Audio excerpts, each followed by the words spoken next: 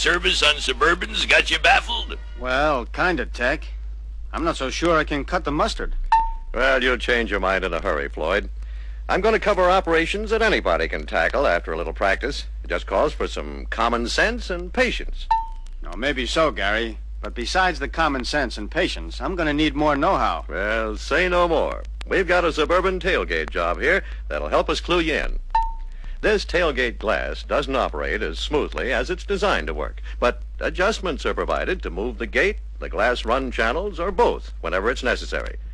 Uh, what you're trying to do, basically, is fit the gate, then adjust the lower glass run channels so the glass will enter the upper channels in the opening without binding. Now, the upper channels, of course, are not adjustable.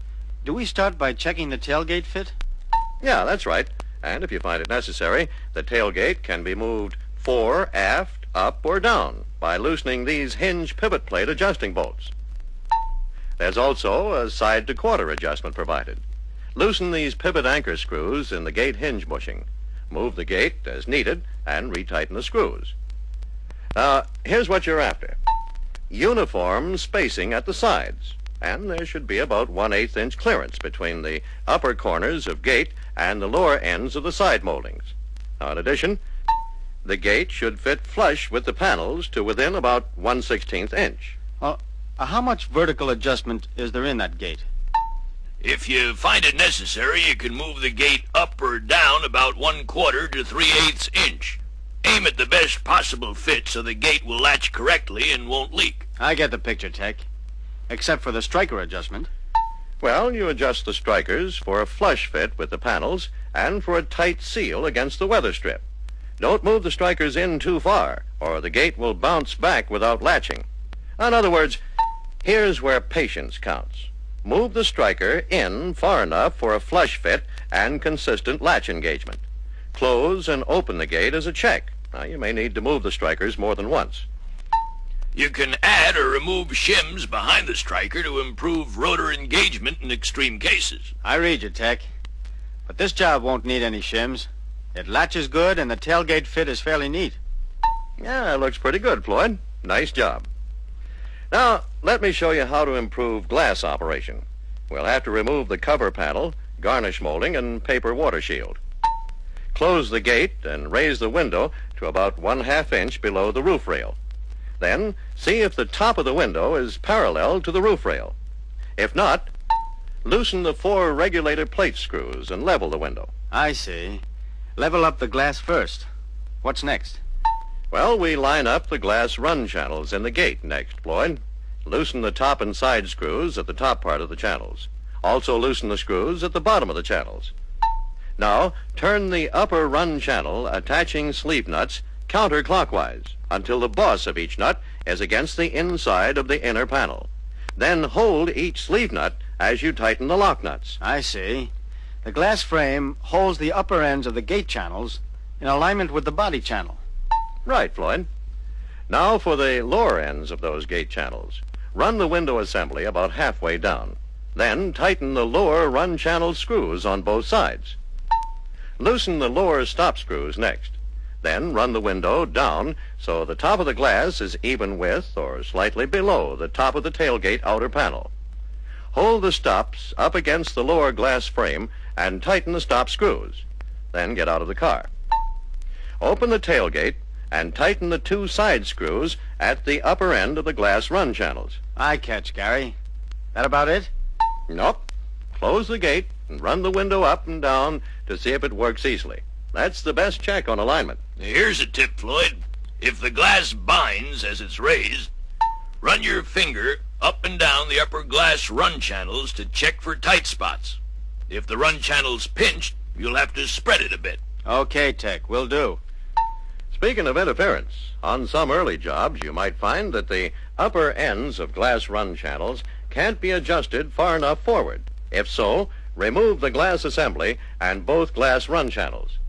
Cut or grind off the staples that hold the glass run rubber channel and remove the rubber. Rework both metal channels by cutting about an inch off the tops. That will eliminate interference and allow extra fore and aft adjustment. Install these new glass run rubber channels by using a two-coat cement application. Then reinstall the reworked channel assemblies in the gate. I see. Then adjust them like we did these. Are we ready to button this gate up now? Not yet, my boy. Gotta drill drain holes. Yeah, Tech's right. We're going to discard this paper water shield and install a new gasket on the cover panel instead. But we've got to make sure water isn't trapped between the cover and the inner panel. So, center punch the 12 places I've marked. Then use a 5 16 drill to drill the holes. Be sure each hole is on the shoulder so no water will be trapped above the gasket. Now you can reinstall the garnish molding. Put a bead of sealer at each corner. You want to make sure water doesn't get in at the upper corners of the gate. Here's another tip. That garnish molding can cause hot window operation. The glass must have ample clearance at the gate opening. Yeah, that's a good point, Tech. That garnish molding could interfere and need repositioning. Now, usually, you can loosen the four top molding screws and remove the end screws. Then roll the molding forward to eliminate interference and retighten the screws. If end holes don't line up, drill new holes and fasten the ends down in their new locations. If the molding still interferes, try this. With pliers, crimp the forward legs of the molding attaching brackets. That will move the brackets and molding attaching holes forward. In extreme cases, you can break the bracket welds, then relocate all brackets forward. Drill new holes and fasten the brackets with sheet metal screws. And sometimes the molding's not at fault. It could be the inner panel that's causing interference. Oh, yeah, Tech, that's a good point, too. That inner panel could be bowed or pinched too close to the outer panel. Now, in a case like that, open the gate to its wide open position. Use a bumper jack in its highest position so the lifting tongue can slip under the inner panel. You follow me? Yep, carry on. Now, with your foot on the jack base so the jack won't slip, press down evenly on the ends of the gate. Bow the inner panel back up until the opening between inner and outer panels is as uniform as possible. A couple of firm shoves ought to do it. Now, here's something else. Be sure the garnish molding end flange doesn't interfere with the upper end of the run channel. That can put extra drag on the glass. Very good. Got any more tips up your sleeve? Yep. If there's still excessive drag on the glass, remove the glass run from the channel in the upper body opening. If the corners have knife cuts, replace it with this new glass run with the slotted corners. Molded walls on the new glass run are thinner and provide more glass clearance. When you install the glass run, be sure it's centered so the lower ends will seal at the gate corners. And cement each leg for seven or eight inches to keep the glass run from creeping out of position. And for good measure, when you have the tailgate cover off, lubricate the regulator and latch linkage with recommended lubricant. Then cement this new gasket to the cover panel and reinstall the panel. That's a good idea to open and close the gate as a final check on the striker adjustment. Also run the glass up and down to check channel alignment and ease of operation. boy, Gary. Now hold things up a second. Because somebody's got to turn this record over so we can talk about service on tailgate locks. Now, let's suppose you get a case where the tailgate latch doesn't work right. That can happen if there's a maladjustment, interference with the linkage, or a remote control rod that slips out of the latch assembly. In any case, you'll have to remove the tailgate cover panel, the garnish molding, and the paper water shield. Should I discard that water shield anytime I take one off? Good idea, Floyd, because you're going to put on that new gasket we showed you before and drill those drain holes. Take the glass assembly out, too, so you can get at the locks. Look first for some sign of interference between the remote control rod and inner panel. If you find any, rework the inner panel to correct the interference. Drill, cut, or file to get enough clearance.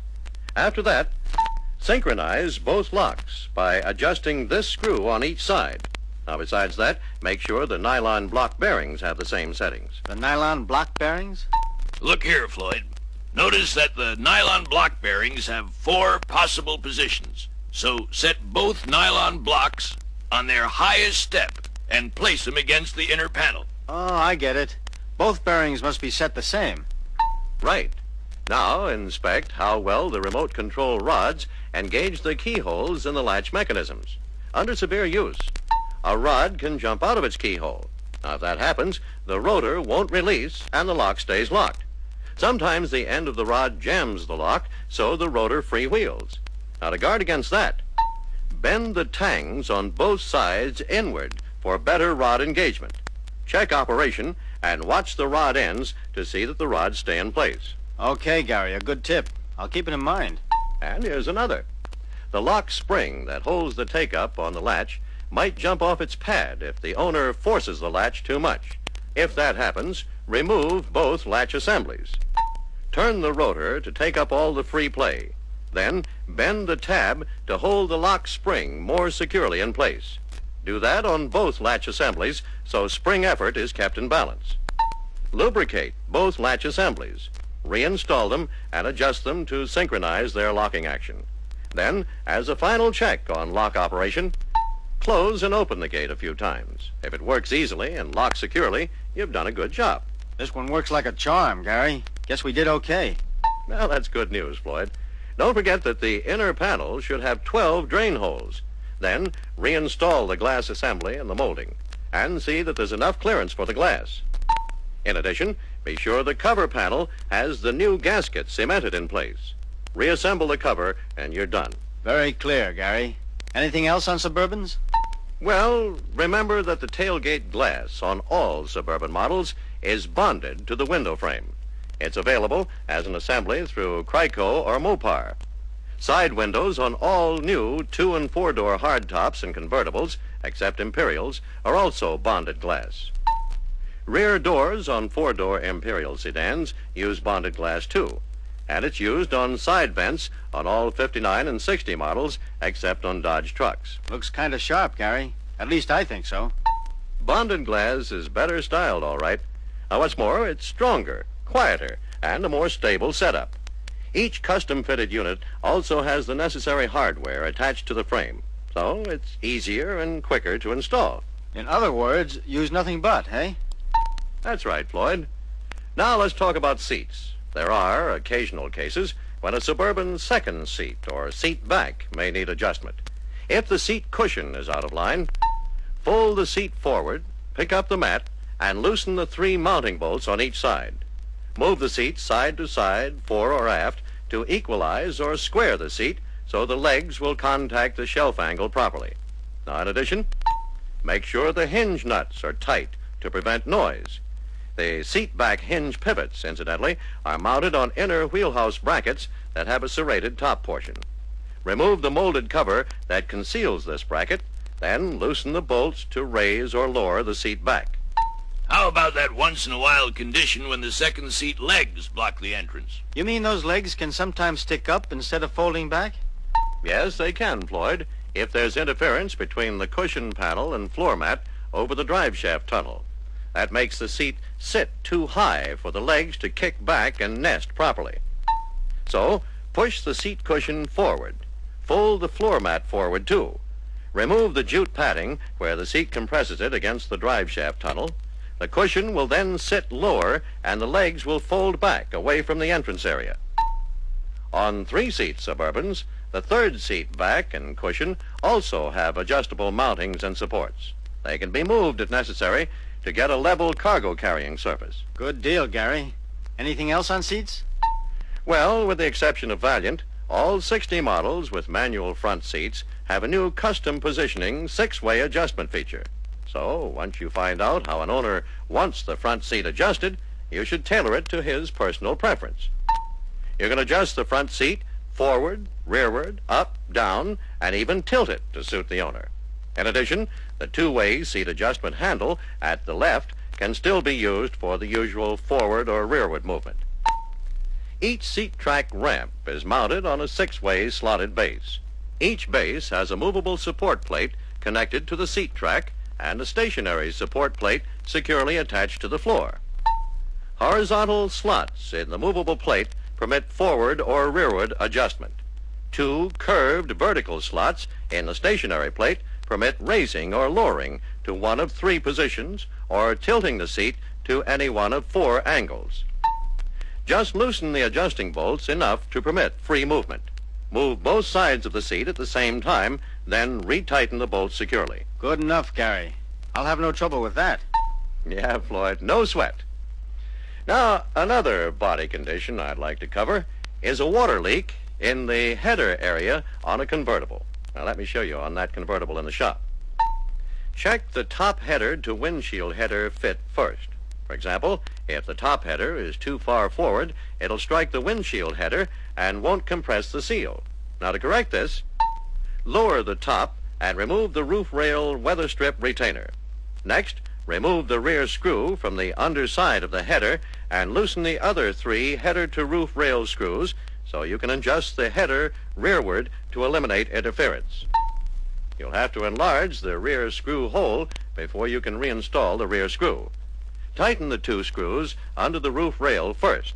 Tighten the two side screws last. There's more on the header to roof rail adjustment in the reference book. Okay, Tech.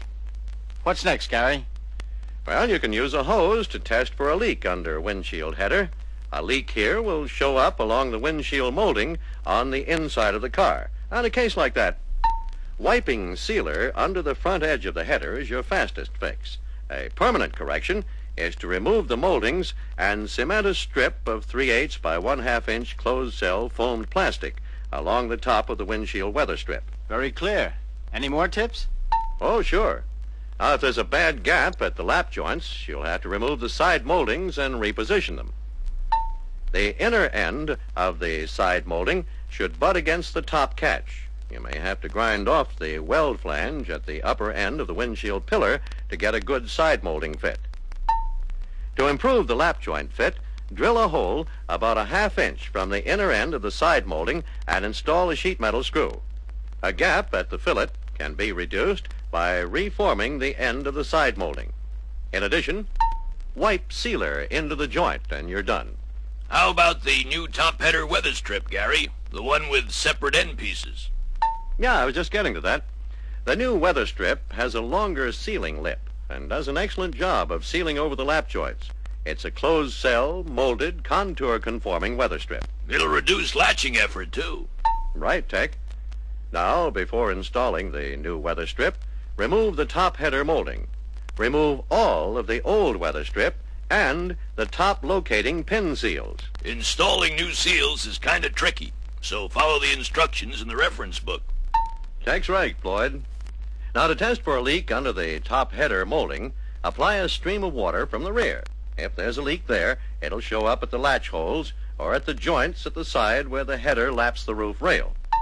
To correct this condition, remove the header molding and re-cement the waterproof tape to the top fabric and the weather strip.